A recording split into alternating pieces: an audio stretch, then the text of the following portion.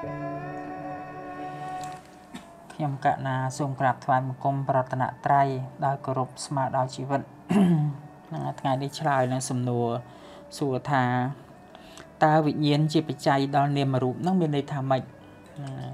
វិញ្ញាណជាបច្ច័យឬក៏នាមរូបមានវិញ្ញាណជាបច្ច័យនាមរូបមានវិញ្ញាណជាបច្ច័យហ្នឹងតើតាយល់យល់បរិច្ចាសមុបាទបរិច្ចាសមុបាទ អវិជ្ជាជាបច្ច័យដល់សង្ខារសង្ខារជាបច្ច័យដល់វិញ្ញាណវិញ្ញាណជាបច្ច័យដល់នាមរូបនាមរូបជាបច្ច័យដល់សលាយ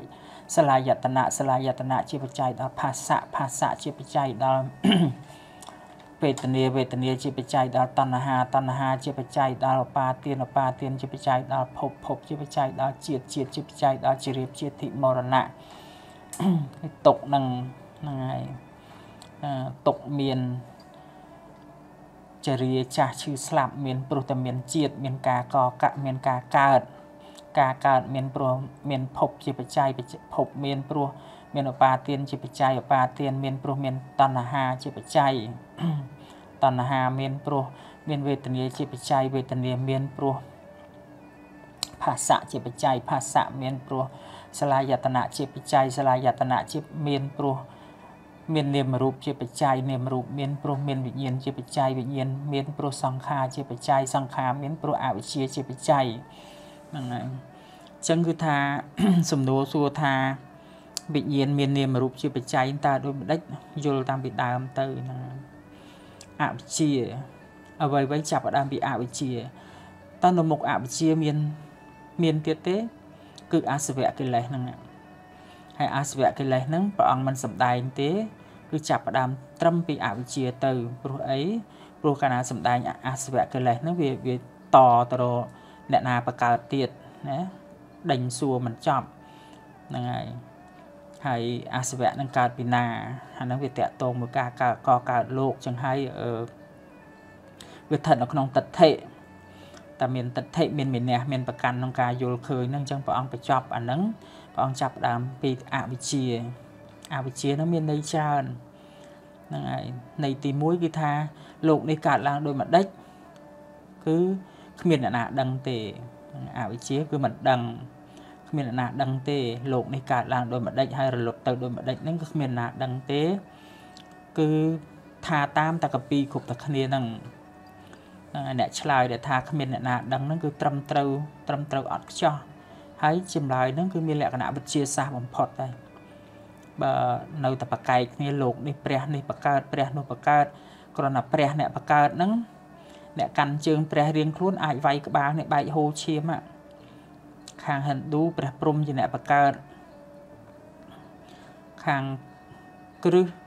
ព្រះយេហូវ៉ាអ្នកបកើតបកើតលោកនេះធំបណ្ដាច់លើសលោកនេះខាងមូស្លីម ព្រះអាឡាអ្នកបកើត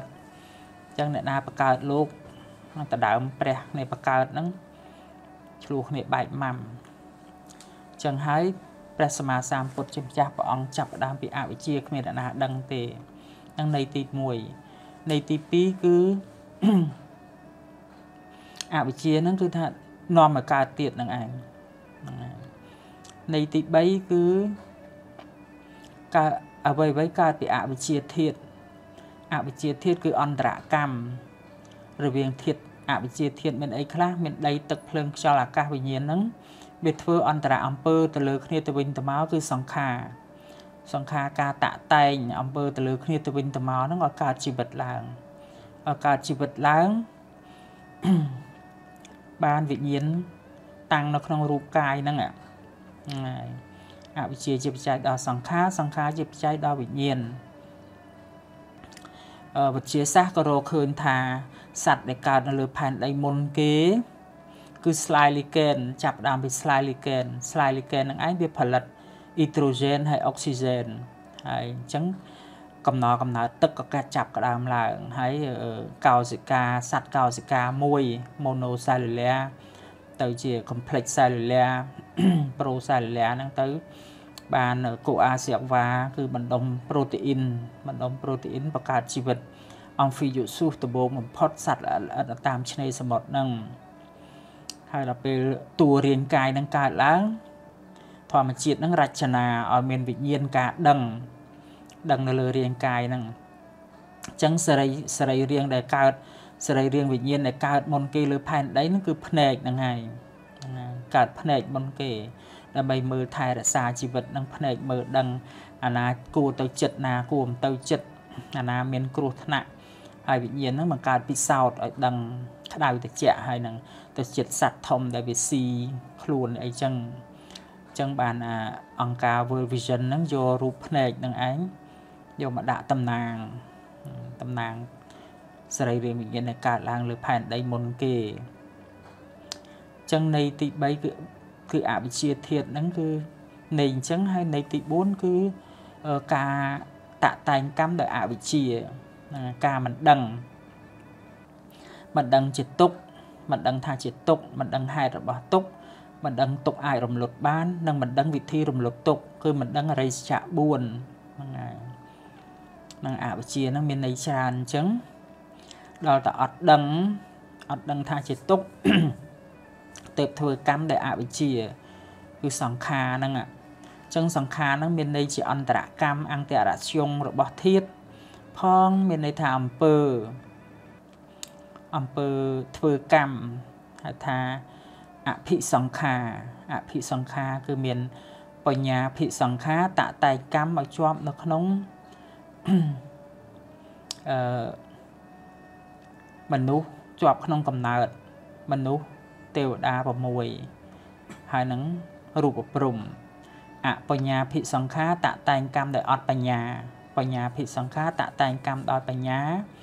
នាំមកជាប់ក្នុងកំណើតមនុស្សទេវតានិងរូបព្រំអបញ្ញាភិសង្ខាតតែងកំណើតដោយមិនមានបញ្ញាហ្នឹងគឺនាំមកមានកំណើតក្នុងអបាយភូមិ4ហើយអនិញ្ជាភិសង្ខា គឺតតែងឲ្យជាប់នៅក្នុងកំណើតអរូបព្រំគឺនៅសម័យព្រះសម្មាសម្ពុទ្ធនឹងយោគិវចរនាំនេះគិតថាអឺដោយសារតែមានមានរូបទៅមានទុកដោយសារតែមានចិត្តទៅមានទុកដោយសារតែមានចិត្តគិតទៅមានទុកតុកកៅអីផ្ទះថ្មភ្នំ ដើមឈើវាអត់ចេះគិតវាអត់មានទុកទេអញ្ចឹងពួកគាត់ខំប្រឹងប្រតិបត្តិកម្មដ្ឋានចូលក្នុងរូបកម្មដ្ឋានឲ្យបានឈានឲ្យបានឈានសមាបត្តិនៅក្នុងរូបកម្មដ្ឋានពេលស្លាប់ពេលរៀបស្លាប់គាត់ចូលរូបឈាននឹងឯងទៅកើតនៅក្នុងកំណើតជារូបព្រំគឺមានតែរូបអត់មានចិត្តអត់មានធ្វើការមានថាភវាំងស្អាត ភវាំងស្ងៀមអត់មានហេតុនាំឲ្យចិត្តធ្វើការបានព្រោះគាត់គិតថាអាគាត់យល់ថាដោយសារតែមានចិត្តហ្នឹងបានយើងមានទុកដល់មកក្រុមទៀតយល់ថាដោយសារតែមានរូបនឹងឯងបានយើងមានទុកព្រោះរូបនឹងចាស់ព្រឹកទៅចាស់ក្រំគ្រាឈឺស្លាប់អញ្ចឹងគាត់វឹកហាត់ផ្ដាច់ការជាប់នៅក្នុងរូបហ្នឹងក្នុងរូបនឹងឲ្យនៅសល់តែនាមធម៌តាំងនៅតែនាមធម៌ ទៅគ្មានទុកអញ្ចឹងគាត់វឹកហាត់នៅក្នុងអរូបកម្មដ្ឋាន បានអរូបឈាន4ហ្នឹងមានអាកាសានញ្ចាយតនឈានវិញ្ញាណញ្ចាយតនឈានអកិញ្ចញ្ញាយតនឈាននិងនេវសញ្ញានេសញ្ញាយតនឈានវឹកហាត់នៅក្នុងឈានអរូបឈាន4ហ្នឹងពេលរៀបស្លាប់គាត់ចូលក្នុងអរូបឈាន4ហ្នឹងទៅទៅកើតជាអរូបព្រំដែលអត់មានរូបមានតែនាមធម៌ ហ្នឹងហើយចឹងតដ្ឋិទាំងអស់ហ្នឹងជាតដ្ឋិខុសឆ្គងទាំងអស់វានៅជាប់នៅក្នុងភពនៅមានកំណើតហើយគ្រាន់តែតាំងនៅយូររាប់កាប់តែដល់ពេលភពតូចឆេះ8ដងរៀលឆេះដល់ភពធំគឺដល់ពួករូបព្រំអីហ្នឹងនឹងឯងអញ្ចឹងវានៅតែមាន ការកើតរលត់នៅក្នុងអំណាចសង្ខារធម៌ឡើយហើយបានឆេះរៀលដល់ អរូបព្រំអីទាំងអស់ហ្នឹងគឺមានជតិបដិសន្ធិដដែលអញ្ចឹងឲ្យតែនៅការឲ្យតែនៅមានចិត្តប្រកាន់ប្រកាន់មមនៅក្នុងកម្មដ្ឋានរបស់ខ្លួនហ្នឹងគឺនៅតែកើតទៀតទៅបានព្រះពោធិសត្វព្រះសទ្ធតព្រះសម្មាសម្ពុទ្ធយើងហ្នឹងលោករៀនបានសម្រាប់សម្រាប់សមាបត្តិ8ហើយលោកពិចារណាឃើញថានៅតែមិនរួចពីទុកព្រោះតែនៅមានការប្រកាន់នៅក្នុងកម្មដ្ឋាន គឺកម្លាំងការប្រកាន់ហ្នឹងនៅតែមានឲ្យមានកំណើតទៀតអញ្ចឹងលោកចេញពីគ្រូទាំងពីរនាក់ហ្នឹងឧតកៈតបោះកាឡាមកោតរាមបុត្រណាគាត់ចេញពីតបោះពីររូបហ្នឹងចេញមកព្រះសម្មាសម្ពុទ្ធព្រះពោធិសត្វចេញមកលោកស្រាវជ្រាវដើម្បីរំលត់រំលត់ការប្រកាន់នៅក្នុងអារម្មណ៍តាមទ្វាទាំង6ហ្នឹងលះឧបាទានក្នុងអារម្មណ៍ហ្នឹងរំលត់វេទនានិងសញ្ញាចោលទាំងអស់ហ្នឹងហើយ បានសញ្ញាវេតយតនិរោធៈគឺនិរោធសមាបត្តិបានផុតផុតពីសមាបត្តិ8ហ្នឹងអញ្ចឹងអវិជ្ជាជាបច្ច័យដល់សង្ខារសង្ខារជាបច្ច័យដល់វិញ្ញាណណាការតាក់តែងហ្នឹងនាំឲ្យវិញ្ញាណកើតឡើងឬក៏អាចពយល់ថានៅពេលដែលយើងរៀបស្លាប់មានភវៈសង្ខារ គឺសង្ខារដែលតាក់តែងនៅក្នុងភពហ្នឹងមានដែតចេញមកចេញមកវារុញឲ្យឲ្យវិញ្ញាណនឹងឯងចេញទៅរកទីកំណើតថ្មីទៀតទៅតាមចនិកកម្មគឺកម្មហ្នឹងរៀបចំចាត់ចែងទៅតាមអារម្មណ៍ដែលខ្លួនប្រកាន់ហ្នឹងទៅតាមអំពើកម្មដែលខ្លួនបានធ្វើហ្នឹងទៅរកទីកើតសំគួរទៅតាមផលកម្មដែលខ្លួនបានធ្វើហ្នឹងហើយសង្ខារជាបច្ច័យដល់វិញ្ញាណវិញ្ញាណជាបច្ច័យដល់នាមរូប ហ្នឹងហើយគឺភវៈសង្ខារហ្នឹងរុញឲ្យវិញ្ញាណហ្នឹងឯងទៅរកទីកើតថ្មីហើយនាមរូបហ្នឹងគឺបញ្ចវិញ្ញាណហើយនឹងរូបថ្មីចង់និយាយថា មានសុទ្ធបង្កកំណើតសុទ្ធញីឈ្មោលបង្កកំណើតឲ្យកើតទៅជាសុទ្ធបង្កកំណើតហើយ បានមានវិញ្ញាណដើមមួយណាវិញ្ញាណដើមមួយចូលទៅវិចិត្ររូបនឹងនាមនឹងឯងឲ្យកើតបានជាជីវិត ហើយដល់ពេលបានកើតជាជីវិតបានជាសុទ្ធបង្កកំណើតបានជាជីវិតហើយការលូតលាស់នឹងហើយជាកាលលៈពេសិអីអំពុទ្ធៈអីនៅក្នុងស្បូនហ្នឹងគឺថារាល់ថ្ងៃនេះយើងអាចតាមដានដឹងដោយ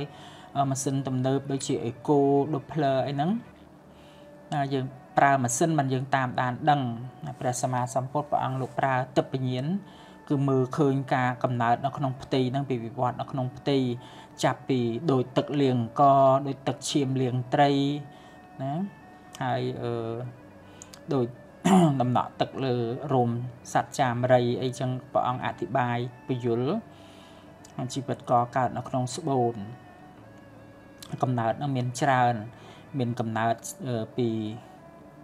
ពីញើសក្អែលសង្សេតជៈកំណើត ពីស្បូនកំណើតពីសុទ្ធហើយកំណើតកើតឡើងឯកធំឯងឧបបតកៈកំណើតនឹងហ្នឹងហើយយើងនេះយើងដឹងតែកំណើតពីអឺស្បូនទេព្រះអង្គមើលធ្លុះធ្លាយរហូតដល់ឃើញកំណើតនៅក្នុងភពមានប្រមាណយ៉ាងកើតពីខ្នែងពីមេឃដូចហ្នឹងហើយកើតពីញើសពីក្អែលអីចឹងចឹងដល់ពេល សុទ្ធនឹងឯងវិវត្តបានជាបញ្ចសាខាដោះក្បាលដោះដៃដោះជើងទៅបាននាមរូបជាបច្ច័យដល់សាលាយតនៈគេដោះភ្នែកដោះតិចដោះច្រមុះដៃជើងហ្នឹងភ្នែកតិចច្រមុះដាតកាយហ្នឹងសាលាយតនៈដែលហើយបានមាន receptor កន្លែងទទួលដែលធ្វើឲ្យវិញ្ញាណដំណើរការគឺប្រសាទរូបហ្នឹង កន្លែងទទួលអាយតនៈខាងក្រៅប៉ះខ្ទប់មកលើអាយតនៈខាងក្នុង មានកន្លែងទទួលឲ្យវិញ្ញាណដំណើរការកន្លែងទទួលហ្នឹងហៅថាភាសៈភាសៈហ្នឹងកើតឡើងហ្នឹងហើយហើយតែមានភាសៈមានវេទនាសោយអារម្មណ៍តាមភាសៈហ្នឹងតែកាលណាមានវេទនាសោយអារម្មណ៍ជាសុខជាទុក្ខតណ្ហាក៏កើតឡើង ការប្រាថ្នាប្រាថ្នាសុខទុក្ខហ្នឹងកើតឡើង ការប្រកាន់មមទៅលើអាតណ្ហាហ្នឹងក៏កើតឡើងឧបាទានកាលណាមានឧបាទានមានការតោងភពតទៅទៀតកាលណាមានភពមានជាតិការកើត